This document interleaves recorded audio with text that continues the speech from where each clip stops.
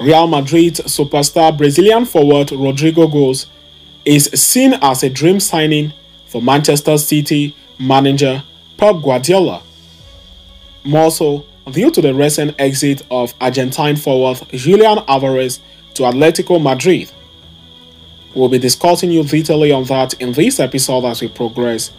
And the shortly after that, we are going to quickly turn our attention to the next agenda of the day as Real Madrid has decided against a move for ex-Manchester City and current Al Nassr star Aymeric Laporte due to financial complexities. As a report claims, Real Madrid will only sign him on a free transfer. We are going to be bringing you more updates on that as well in this episode. Stay tuned right up to, up to the end. Please do not forget to like and subscribe to this channel.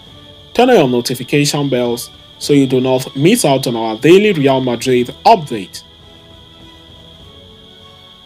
When it became clear that Real Madrid were all set to sign Kylian Mbappe, a lot of speculations emerged about the future of Rodrygo Goes. With Vinicius Jr., an immovable presence from the lineup and Mbappe arriving as well, it will suggest that the Brazilian will lose prominence and might consider a departure from the Santiago Bernabeu.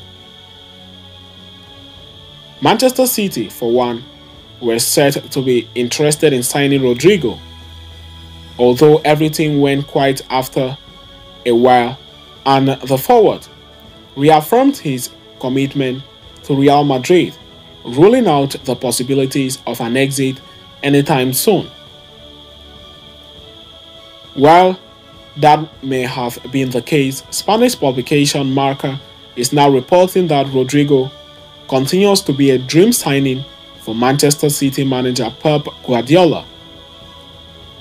The Premier League champions sold Julian Alvarez to Atletico de Madrid and could enter the market for a replacement for the Argentine international. As per the report, the citizens are handling several options as possible targets, such as Crystal Palace star Ebere Eze, as well as Napoli speedster Khvicha Kvaratskhelia. However, the name of Rodrygo also features on the list, with the Real Madrid attacker said to be a favorite of Guardiola. Despite the continuous interest of Guardiola and Manchester City, Rodrygo is unlikely to leave Real Madrid this summer. The Brazilian international remains an integral part of Carlo Ancelotti's plans and signed a new long-term contract with the Merengues only last year. Both the player and the club are committed towards each other and are not looking for a separation of ways anytime soon. So while Rodrygo will have to deal with added competition for places thanks to the arrival of Mbappe and Endrick, along with Arda Güler exploding in recent form, an exit is not a possibility. Carlo Ancelotti has also reaffirmed that Rodrygo will be a key part of his team next season owing to the fact that Real Madrid will be competing in a total of 7 tournaments and could play up to 75 matches if they reach finals in all competitions. More updates on that will follow. Stay tuned so you do not miss out. So having discussed and concluded with that, we are now going to quickly turn our attention to the next agenda of the day, as Real Madrid have decided against a move for ex-Manchester City ace due to financial complexities. Real Madrid faced a significant setback in their effort to strengthen their defensive line as their top target, Leny Yoro, ended up taking his talent to Manchester United. Since then, incessant speculations has surrounded several centre backs given the Merengues have lost Nacho Fernandez and Rafa Marin, with David Alaba expected to return later this year. Report trying Real Madrid to Laporte began to do the rounds lately, with Al Nassr centre back eager to make the leap to the Spanish capital club and was even willing to take a huge pay cut.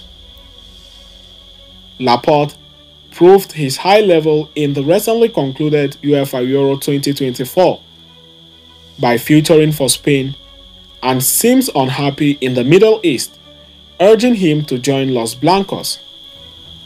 However, according to a recent report from Spanish publication The Athletics, as quoted by Madrid Extra, Carlo Ancelotti and his staff liked the signing of Aymeric Laporte, but the deal was deemed highly complex and due to financial constraints, making it an impractical option. Ancelotti understands the club's financial position and is prepared to maximize the potential of the current squad, demonstrating his abilities as was especially observed last season.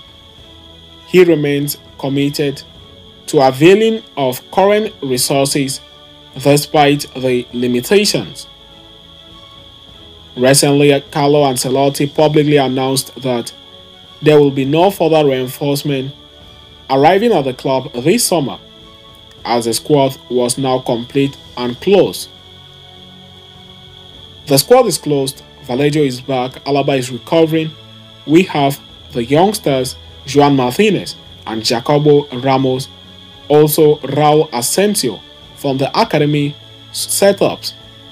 The squad is closed, Ancelotti professed. As such, the Italian manager has come to terms with the unlikelihood of additional signings and accepts that he must work and trust the players currently at his disposal, despite the defense appearing notably thin. While signing Laporte would have been a great boost given his exceptional time at Manchester City, Real Madrid are unwilling to compromise their financial status at this point in time and value the club's long term vision. Also, it is important to highlight that last season, owing to an injury to both Militao and David Alaba in the center defensive area, Carlo Ancelotti had to make do with the available defensive midfielder in the squad, Aurelien Tchouameni, who was a perfect fit in that position. Tchouameni played a position as if he wanted to make that his, although the midfielder has always professed his love for his natural positioning on the pitch, which is the, center, the defensive midfield role. Now, next season, should Ancelotti run short of staffs in the center defensive region, he knows there is always a Tchouameni to cover up. With Real Madrid not lacking options in the midfield, it will be easy to swap Aurelien Tchouameni into a centre back department and replace his midfield position with the stack of available stars in the squad. More updates on that will follow. Stay tuned so you do not miss out. So having discussed and concluded with that, we have come to the end of today's interesting episode. Thanks for following us right up to the end. Please do not forget to like and subscribe to this channel. Turn on your notification bells so you do not miss out on our daily Real Madrid update. See you next time and a very big Hala Madrid to us all.